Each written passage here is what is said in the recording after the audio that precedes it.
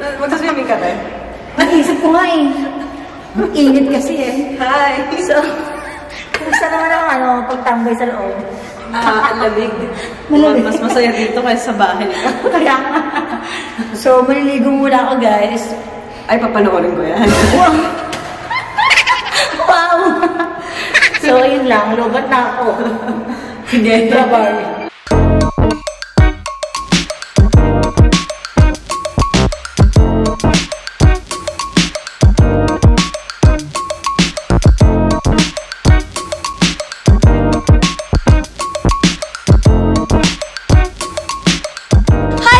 Guys! Okay, so nalobat na muna yung camera ko. At andito kami ngayon sa 7th floor. Mag-swimming kami. O, di ba? Ang lola nyo, balot na balot po ako. Kasi baka makita yung bilbil ko. Pero yung kasama ko po supermodel. Lahagang Pilipina po. Yes! Yes! Umikot ka nga. Ikot, ikot. Ikot! Ayoko nga. Ba- ano, Catriona Gray. Wow! Ang taray! Eh di ikaw na. Ako na mataba. Paano ako mag-model? Yes. So, guys, ang laki po ng tiyan ko. Kaya, hanggang pagligo, ganito na lang po isusuot ko. Okay? Bye! I-encourage nyo po siyang mag-exercise. Oo, mag-gym na ako. Okay, so kakain muna kami. Tapos mag-swimming. okay. Hi! Bye! Kakain muna kami. Okay guys, so tapos na kami kumain. Kasama ko si Mother Dear. May ano masasabi mo? Hindi ka na makikita kahit tumarap ka. Tapang ko na emoji yan. Ano ba yan? Napusog ka ba? Oo, nabusog sa pansit. So, iniintay lang po namin si Jella dahil umihi po siya. Okay, so ngayon, dito po ako sa Starbucks. Kasama ko si Senorita Vasti. Nasa CR na naman siya ngayon. Hintay ko. Tambay mode muna kasi walang magawa sa hotel. Alam nyo na, muni-muni muna ako dito. So, andyan na siya. Hi!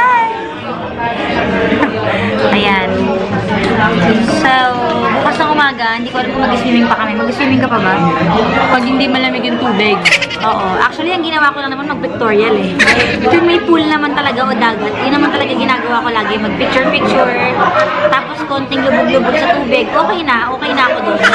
Kasi mababaw lang naman ang kalagayahan ko eh. Yes, hugot. Oo, madali, madali lang ako mapasaya. Ikaw ba? Ikaw ba? Mabilis Ganun din ako. So, pag umorder po kami, ganito kami lagi. Isa lang. Tapos, share. Share, share. So, syempre, ako muna yung unang titikim. Kasi, bakit? Bakit ikaw muna unang titikim? Ah, basta. Kasi, pag nakatikim na po ako, hindi na po niya yan titikman.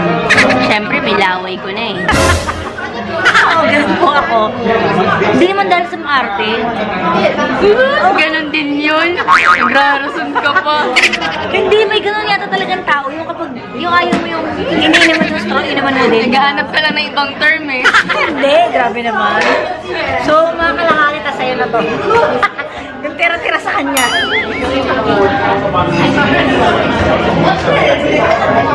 Bakit? As Berry. Kaya nga eh. Okay na? Pwede ka na mainom? Pwede na? Sige. Mamaya na ulit guys. Balitaan namin kayo sa mga ganap pa namin ngayon. Anong oras na ngayon? Alas 10. Ay, Actually, alas 11 na po, pero gising na gising pa rin kami. So, ayun. Tambay muna kami dito. May ulit. Bye. Okay guys, so andito na ako ngayon sa room. Oras natin, alas 12 na po, na hating gabi. And napagod po ako. Napagod ba ako? Actually, sakto lang, di naman masyado, pero paus pa rin ako.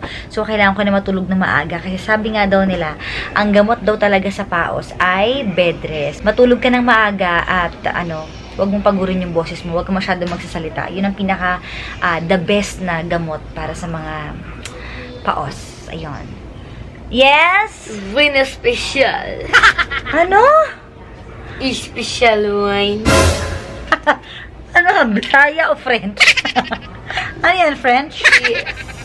So, wow. Nakakaloka naman. Bon appetit! Wow, bon appetit. Okay, so, binig para sa to wine na to? Eh, very special for sleeping. For sleeping. Iba ka. So, ayan. Binigyan na po ako ni David ng wine. Kasi isang ganito lang na wine, makakatulog na ako. So, ito po yung pampaanto ko. Kasi minsan, di ba, kapag inaantok tayo, tapos higa na tayo sa kama, nakapikit lang tayo, pero hindi pa rin tayo nakakatulog. O, o kaya nagmumuni-muni pa rin tayo. So, ayun, ang hirap din minsan kung saan-saan gumagala yung utak natin. So, itong pampaanto ko po lagi. Yung wine. Sweet wine.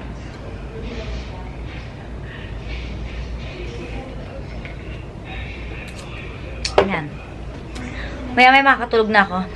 Actually, tinatamaan ako ngayon. Charot. Jella! Ayan. Si Jella minsan ang ano ko, ang sinasama ko sa paggawain. Pero ngayon, masakit yung chan niya, di ba? Yes, alam nila na hindi ako makadumi. Bakit? Grabe naman. So, ang dami ng pururot dyan sa chan mo na hindi makalabas. Tama, tama Bakit hindi ka makadumi? I don't know. Ano, anong kinain mo? Anong nangyari sa buhay mo? So, ayun na nga. Tinatawagan ko po si Ira. Actually po, ang nangyari po, eh, sabi ko kay Ira, kasi magkapit-bahay lang po kami dito. Sabi ko, after kong magkape, after na yung magkape ni, ano, ni Vashti, eh, pupuntahan ko siya sa room niya para mag-wine kami. Kasi mahilig din yun sa wine. Kumbaga, pampaantok niya rin yung wine. Eh, tinatawagan ko, hindi na nasagot. Ayun, oh. Sabi ko, ano, gising ka pa? Tulog ka na yata, eh. Oh, dito kasi kami nag-spend ng whole week pareho. Kasama niya yung family niya. Tapos kasama ko rin yung family ko. So, ayan. Sa mga nagbakasyon ngayong Holy Week, sana na-enjoy niyo po. Tinatawagan ko na siya.